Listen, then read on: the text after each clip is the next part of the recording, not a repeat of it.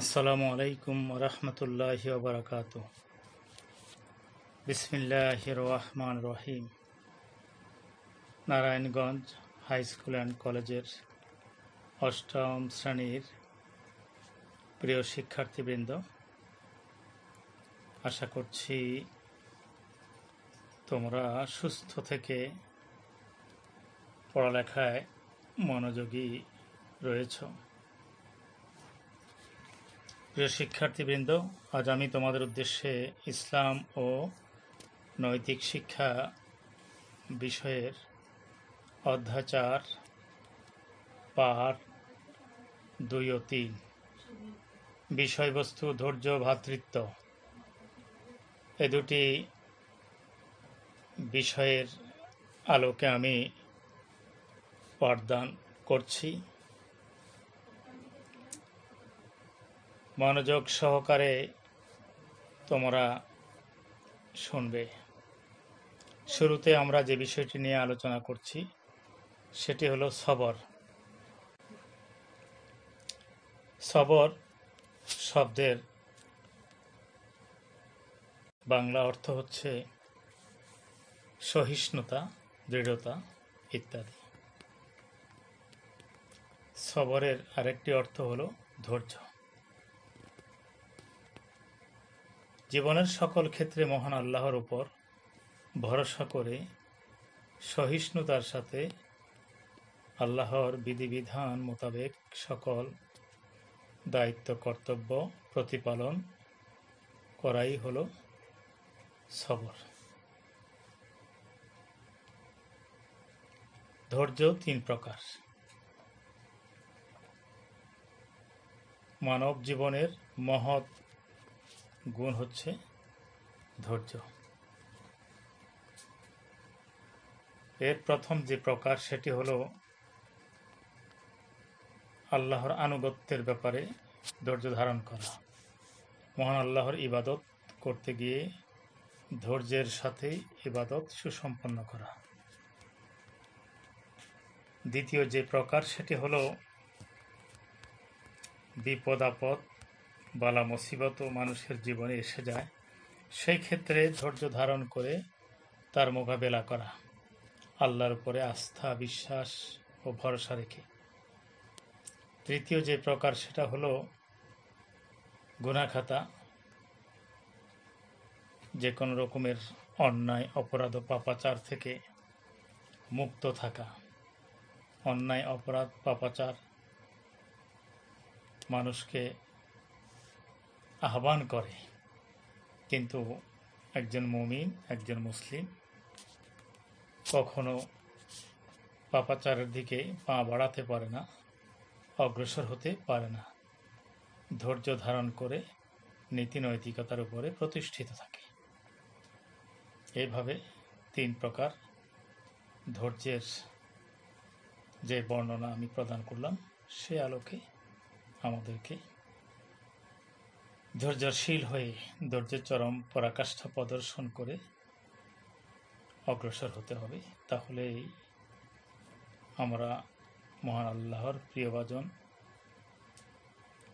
বান্দার কাতারে সামিল হতে সক্ষম হব। প্রিয় শিক্ষার্থীবৃন্দ, মহান আল্লাহ বলেন, অবশ্যই ধৈর্যশীল, অবশ্যই ধৈর্যশীলগণকে তাদের প্রতিদান অগণিতভাবে দেওয়া হবে। সুরা আজ জুমারের দশম আয়াতের মধ্যে মহান আল্লাহ এই নির্দেশনা দিয়েছেন। মহান আল্লাহর বিধানে যেটি বলা হলো, সেটি হলো এই যে, যারা ধৈর্যশীল হবে, যারা ধৈর্যের চরম পরাকাষ্ঠা প্রদর্শন করবে, ধীরে সুস্থে চিন্তা ভাবনা করে, যারা তাদের জীবনকে পরিচালনা করবে তাড়াহুড়া করবে না।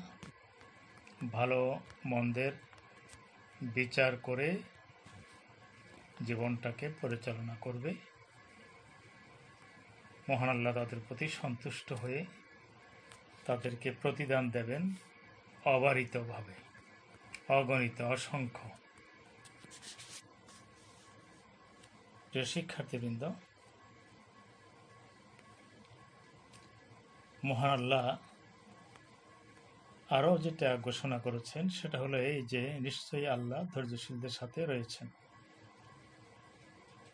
যারা ধৈর্যশীল,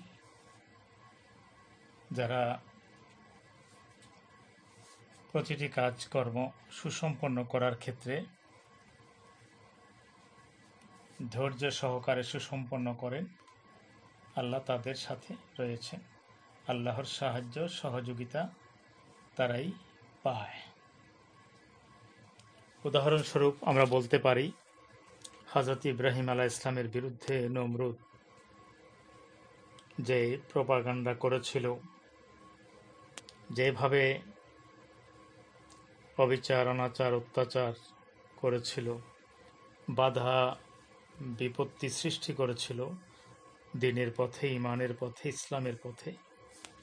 ইব্রাহিম আলাহ ইসলাম চরম ধৈর্যশীলতা সহকারে তিনি সব কিছু অতিক্রম করেছেন। এমনকি তাকে অগ্নিকুণ্ডে নিক্ষিপ্ত হতে হয়েছে। তবুও তিনি ধৈর্য হারাননি, তার ধৈর্যচ্যুতি ঘটেনি। তিনি আল্লাহর উপর আস্থা, বিশ্বাস রেখে তিনি ধৈর্য ধারণ করেছেন এবং তিনি আল্লাহর নামে অগ্নিকুণ্ডে তিনি ছিলেন, তার কোনো ক্ষতি সাধিত হয়নি, নমরুদ তার ক্ষতি করতে পারেনি। আল্লাহ তাকে সেই অগ্নিকুণ্ড থেকেও নিরাপত্তা প্রদান করেছেন। এছাড়াও শিশু কোরবানি সহ আরও জীবনের বিভিন্ন পর্যায়ে তিনি যতটা পরীক্ষার সম্মুখীন হয়েছেন, প্রতিটি পরীক্ষায় তিনি উত্তীর্ণ হতে পেরেছিলেন। কারণ তিনি ধৈর্য ধারণ করেছিলেন। আর আল্লাহ পাকের যে বিধান সেটা হলো, যারা ধৈর্য ধারণ করবে, আল্লাহ তাদের সাথেই থাকবেন। তাদেরকেই মহান আল্লাহ সাহায্য, সহযোগিতা প্রদান করবেন ঠিক আইব আলাহ ইসলাম তিনি অসুস্থ ছিলেন। মারাত্মক রোগে আক্রান্ত হয়েও তিনি কখনো মহান আল্লাহকে ভুলে যাননি। বরং ধৈর্যের সাথে তিনি এই রোগকে মোকাবেলা করেছেন। রোগকে মোকাবেলা করার মানে হলো, রোগ ছিল এরপরেও তিনি মহান আল্লাহকে এক মুহূর্তের জন্যও ভুলে যাননি। সদা সর্বদা মহান আল্লাহর প্রতি তার আস্থা, বিশ্বাস ছিল এবং আল্লাহ পাকের গুণগান, গুণকীর্তন, স্তুতি, স্তব তার মধ্যে পরিলক্ষিত হয়েছে। এক পর্যায়ে মহান আল্লাহ তার ধৈর্যের কারণে মহান আল্লাহ তাকে উত্তীর্ণ করেছেন। তিনি নিষ্কৃতি পেয়েছেন, মুক্তি পেয়েছেন। তিনি সুস্থতা ফিরে পেয়েছেন। মোহাম্মদ সাল্লাহ ইসলামের পথেও অনেক বাধা, বিপত্তি সৃষ্টি করা হয়েছিল, অনেক আঘাত, অনেক আক্রমণ এসেছিল। আবু জেহেল আবুল আহাব উদ্বা সাইবা, মক্কার সেই মসজিদগণ অনেক অবিচার, অনাচার, অত্যাচার করেছিল নবীজির উপর। কিন্তু প্রিয় নবী সাল্লাহ সাল্লাম মহান আল্লাহর প্রতি অবিচল আস্থা ও বিশ্বাস রেখে চরম ধৈর্যের সাথে সব কিছু মোকাবেলা করেছেন এবং এক পর্যায়ে মহান আল্লাহ তাকে সম্মান দিয়েছেন, মর্যাদা দিয়েছেন, তাকে বিজয়ী করেছেন। প্রিয় শিক্ষার্থীবৃন্দ, যেভাবে নবী রাসুলগণ, সাহাবিগণ ধৈর্য ধারণ করেছেন, এখান থেকে শিক্ষণীয় বিষয় হলো, আমাদেরকেও ঠিক এইভাবে ধৈর্য ধারণ করে আমাদের উপরে অর্পিত যাবতীয় দায়িত্ব সুসম্পন্ন করতে হবে। মহান আল্লাহ পাকের ইবাদতে নিমগ্ন থেকে তার সন্তুষ্টি অর্জনের জন্য সচেষ্ট হতে হবে।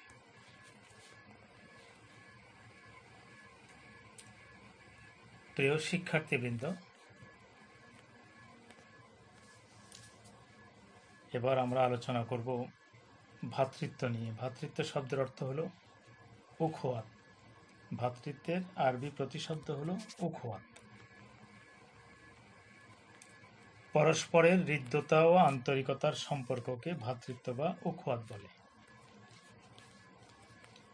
ভ্রাতৃত্ব ভ্রাতৃত্ব তিন প্রকার।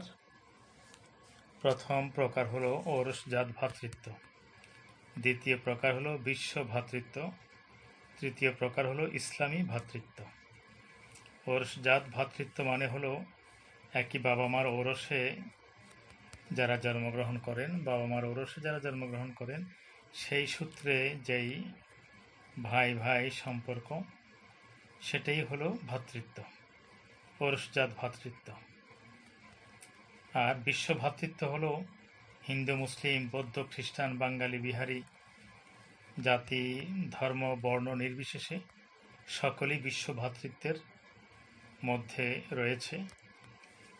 যেহেতু আদম আলাহ ইসলাম আমাদের বিশ্বের সকল মানুষের পিতা এবং হজরত হাওয়া আলাইহাসালাম তিনি বিশ্বের সকল মানুষের মা এ অর্থে আমরা একই বাবা মার সন্তান।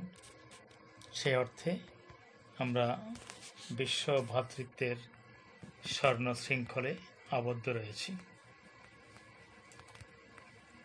প্রিয় শিক্ষার্থীবৃন্দ, তৃতীয় পর্যায়ে হলো ইসলামী ভ্রাতৃত্ব মুসলিম হিসাবে আমাদের মধ্যে যে ভ্রাতৃত্ব রয়েছে, যে ব্যাপারে মহান আল্লাহর ঘোষণা রয়েছে, সুরা আল হুজুরাতের দশম আয়াতের মধ্যে, আল্লাহ এ পর্যায়ে যে বিষয়টি তুলে ধরেছেন, সেটি হলো নিশ্চয়ই মুমিনগণ পরস্পর ভাই ভাই। মহান আল্লাহ এখানে বোঝাতে চেয়েছেন, তোমরা যারা মুমিন, তোমরা যারা মুসলিম, তোমরা যারা বিশ্বাসী, যাদের মধ্যে ইমান রয়েছে, তারা দিনই ভাই ইমানের দৃষ্টিতে ইমানই ভাই, সেজন্য তোমরা পরস্পর ভ্রাতৃত্বের বন্ধনে আবদ্ধ রয়েছ। এই ভ্রাতৃত্বকে নষ্ট করা যাবে না। এই ভ্রাতৃত্বের ক্ষতি সাধন করা যাবে না, বরং এই ভ্রাতৃত্ব সুদৃঢ় করতে হবে, টিকিয়ে রাখতে হবে। তাহলে এই মহাগ্রন্থ আল কোরআনের সুরা হুজুরতের দশম আয়াতের প্রতি আমরা দৃষ্টি নিবদ্ধ করেছি এবং সেই নিরিখে জীবন পরিচালনা করছি, তা প্রমাণিত হবে। প্রিয় শিক্ষার্থীবৃন্দ বোখারি এবং মুসলিম শরীফের হাদিসে রয়েছেন অভিজি বলেছেন, মুসলিম মুসলিমের ভাই। যে ব্যক্তি মুসলিম দাবি করবে, অন্য মুসলিমকেও তার ভাই হিসাবে মেনে নিতে হবে। ভ্রাতৃত্বের বন্ধনে আবদ্ধ থাকতে হবে, ভালোবাসা থাকতে হবে, আন্তরিকতা, ঐকান্তিকতা থাকতে হবে, মিলেমিশে থাকতে হবে এবং একের কষ্টে অন্যের ভূমিকা রাখতে হবে। কেউ যদি অনাহারে অর্ধাহারে থাকে, কেউ যদি বিপদে আপদে বলা মুসিবতে নিমজ্জিত থাকে, সেক্ষেত্রে বাই হিসেবে তাদের কল্যাণে এগিয়ে আসতে হবে। প্রিয় শিক্ষার্থীবৃন্দ, মমিনগণ পরস্পর মিলে একটি ইমারত স্বরূপ। যারা মমিন, এরা একটি ঘরের মতন এর এক অংশ অপর অংশকে মজবুত করে রাখে। বোখারি, মুসলিমের হাদিস। এখানে নবী যেটা বোঝাতে চেয়েছেন সেটা হলো, একজন মমিনের সাথে আরেকজন মমিনের বিষয়টি নবী উদাহরণ দিয়ে বুঝিয়েছেন, এটি একটি ঘরের মতো, প্রাসাদের মতন ইমারতের মতো। আর ইমারতের মধ্যে বিরাজমান যেই ইটগুলো আছে, তা একটি অপরটিকে শক্ত করে, মজবুত করে ধারণ করে রয়েছে। একটি অংশ আরেকটি অংশকে মজবুত করছে। ঠিক আমরাও একে অপরকে মজবুত রাখব। একে সাথে অন্যের সম্পর্ক সুদৃঢ় হবে। সুগভীর হবে এবং সুগহীন হবে। কখনো আমরা অন্যকে ছেড়ে যাব না বা আমরা বিচ্ছিন্ন হব না, বিক্ষিপ্ত হব না শতধা বিভক্ত হব না, বরং আমরা সম্মিলিতভাবে, দলবদ্ধভাবে সংঘবদ্ধভাবে জীবনযাপন করব এবং সামাজিকভাবে জীবনযাপন করব এবং অন্যের কল্যাণে নিজেকে বিলিয়ে দিব। ইতিবাচক যাবতীয় কাজে সাহায্য সহযোগিতার হাত বাড়িয়ে দেব এবং নেতিবাচক কাজ থেকে অন্য ভাইকে আমরা বাঁচিয়ে রাখব। সুরা আল হুজরাতের তেরোতম আয়াতে মহান আল্লাহ আরও ঘোষণা করছেন, হে মানব মণ্ডলী, আমি তোমাদের সৃষ্টি করেছি এক পুরুষ ও এক নারী হতে। পরে তোমাদের বিভক্ত করেছি বিভিন্ন জাতি ও গোত্রে। যাতে তোমরা একে অপরের সাথে পরিচিত হতে পারো। মহান আল্লাহ আমাদেরকে সৃষ্টি করেছেন আদম আলাহ ইসলাম এবং হাওয়া আলাই আসসালাম তাদের দুজন থেকে আমরা সৃজিত হয়েছি। তাদের মাধ্যমে আমরা এই পৃথিবীতে সূচিত হয়েছি, আগমন করেছি। এরপর মহান আল্লাহ আমাদেরকে বিভক্ত করেছেন বিভিন্ন জাতি এবং বিভিন্ন গোত্রে। এই বিভক্তি যেটা, কেউ আরব, কেউ অনারব এক একজনের ভাষা এক এক রকম এক এক দেশের ভাষা এক এক রকম, এবং গোত্র, বর্ণ বিভিন্ন রকম। আল্লাহ বলছেন যে, এরকম বিভক্ত করার মানে হলো যেন একে অপরের সাথে পরিচিত হতে পারি। আরবরা যেন অনারবকে অনারব বলে ডাকতে পারে, অনারবগণ আরবকে আরব বলে ডাকবে এবং তাদের সাথে কথাবার্তা বলবে। তাদের সাথে সুসম্পর্ক বজায় রাখবে। এই জন্যে, বিক্ষিপ্ত বিচ্ছিন্ন হওয়ার জন্যে আমাদেরকে বিভিন্ন গোত্রে বা জাতিতে বিভক্ত করা হয়নি। এটা হলো পরিচিতির জন্যে করা হয়েছে। বোঝার সুবিধার জন্যে। প্রিয় শিক্ষার্থীবৃন্দ, স্বল্প পরিসরে আমি তোমাদের উদ্দেশ্যে দুটি বিষয় নিয়ে আলোচনা করেছি। একটি হলো ধৈর্য আর একটি হলো ভ্রাতৃত্ব। এখন আমি এই দুটি বিষয়কে কেন্দ্র করে চারটি প্রশ্ন নিয়ে তোমাদের উদ্দেশ্যে আলোচনা করছি। ওখওয়াত শব্দের অর্থ কী? প্রথম জ্ঞানমূলক যে প্রশ্নটি, সেটি হলো ওখওয়াত শব্দের অর্থ কী? আমরা বলেছি ওখওয়াত শব্দের অর্থ হলো ভ্রাতৃত্ব। ধৈর্যশীলতা আবশ্যিক গুণ কেন?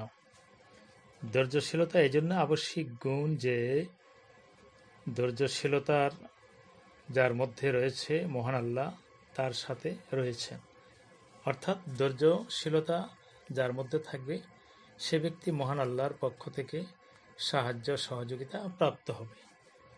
আর আল্লাহর সাহায্য, সহযোগিতা ছাড়া ছাড়া আমরা এক মুহূর্ত বেঁচে থাকতে পারব না। এই জন্যে আমাদের স্বার্থে, আমাদের কল্যাণে আমাদেরকে ধৈর্যশীলতা নামক এই গুণটি অর্জন করতে হবে। এই বৈশিষ্ট্যে আমাদেরকে বৈশিষ্ট্য মণ্ডিত হতে হবে। প্রিয় শিক্ষার্থীবৃন্দ, তৃতীয় পর্যায়ে যে প্রশ্নটি, প্রয়োগমূলক প্রশ্ন, সেটি হলো আমরা কীভাবে ভ্রাতৃত্বের বন্ধনে আবদ্ধ হব? এর জবাব আমাদেরকে এইভাবে দিতে হবে বা এইভাবে এই প্রশ্নের উত্তর লিখতে হবে যে প্রথমত আল্লাহর নির্দেশ। ভ্রাতৃত্বের বন্ধনে আমরা আবদ্ধ হব কীভাবে? আমরা আবদ্ধ হব, আমরা আল্লাহ যেহেতু আমাদের আদেশ করেছেন। তাহলে আল্লাহর যদি নির্দেশ আমরা মেনে চলি তাহলেই আমাদের ভ্রাতৃত্বের বন্ধনটা সঠিক মানে থাকবে এবং এই বন্ধন সুদৃঢ় থাকবে। দ্বিতীয়ত, রাসূলের আনুগত্য প্রদর্শন করে আমরা ভ্রাতৃত্বের বন্ধনে আবদ্ধ হব। তৃতীয়ত, কোরআনের নির্দেশ মেনে চলে আমরা ভ্রাতৃত্বের বন্ধনে আবদ্ধ থাকব। চতুর্থ হলো ওরসজাত ভ্রাতৃত্ব মেনে নিয়ে। পঞ্চম, বিশ্ব ভ্রাতৃত্ব মেনে নিয়ে। ষষ্ঠ হলো ইসলামী ভ্রাতৃত্ব মেনে নিয়ে। এইভাবে যদি আমরা আল্লাহর নির্দেশ, রাসূলের আনুগত্য, কোরআনের নির্দেশনা এবং পৌরসজাত ভ্রাতৃত্বের বিষয়টিকে মাথায় রেখে বিশ্ব ভ্রাতৃত্বের গুরুত্ব প্রদান করে এবং ইসলামী ভ্রাতৃত্বের বিষয়টিকে তাৎপর্যপূর্ণ মনে করে, গুরুত্ববহ মনে করে যদি আমরা একের সাথে অন্যের সম্পর্ক যদি আমরা সুদৃঢ় করতে চাই, তাহলে এই সম্পর্ক সুদৃঢ় হবে, সুগহীন হবে এবং মহান আল্লাহর সন্তুষ্টি আমাদের উপরে থাকবে। প্রিয় শিক্ষার্থীবৃন্দ এই ছয়টি পয়েন্টের আলোকে আমরা আমাদের ভ্রাতৃত্বের বন্ধনটাকে আমরা সুদৃঢ় করতে পারব। চতুর্থ যে প্রশ্নটি, সেটি হলো, ধৈর্যশীলতার গুরুত্ব তাৎপর্য বিশ্লেষণ করো। ধৈর্যশীলতার মতন এই গুণটি, এটি কেন গুরুত্বপূর্ণ এবং এটি কেন তাৎপর্যবহ? এর উত্তর হলো এটা, এটি এই জন্য গুরুত্বপূর্ণ যে এটি এই ব্যাপারে আল্লাহর হুকুম রয়েছে, যেহেতু এটি আল্লাহর হুকুম, এজন্য এটি গুরুত্ববহ। দ্বিতীয়ত, এটি রাসুলের আদর্শ। এই জন্য এটি গুরুত্বপূর্ণ, তাৎপর্যবহ। তৃতীয়ত, এটি কোরআনের অনুসরণ। ধৈর্যশীলতা কথা কোরআনে বলা হয়েছে। ধৈর্যশীলতা অবলম্বন করা মানে হলো কোরআনের অনুসরণ করা। এই জন্য এটি গুরুত্বপূর্ণ। চতুর্থ হলো হাদিসের অনুকরণ। হাদিসেও ধৈর্যশীলতার গুরুত্বের বিষয়টি তুলে ধরা হয়েছে। এতে এটি যে তাৎপর্যবহ, সে কথা নবীজি ব্যাখ্যা করে বুঝিয়ে দিয়েছেন। এই জন্য এটি গুরুত্বপূর্ণ তাৎপর্যবহ।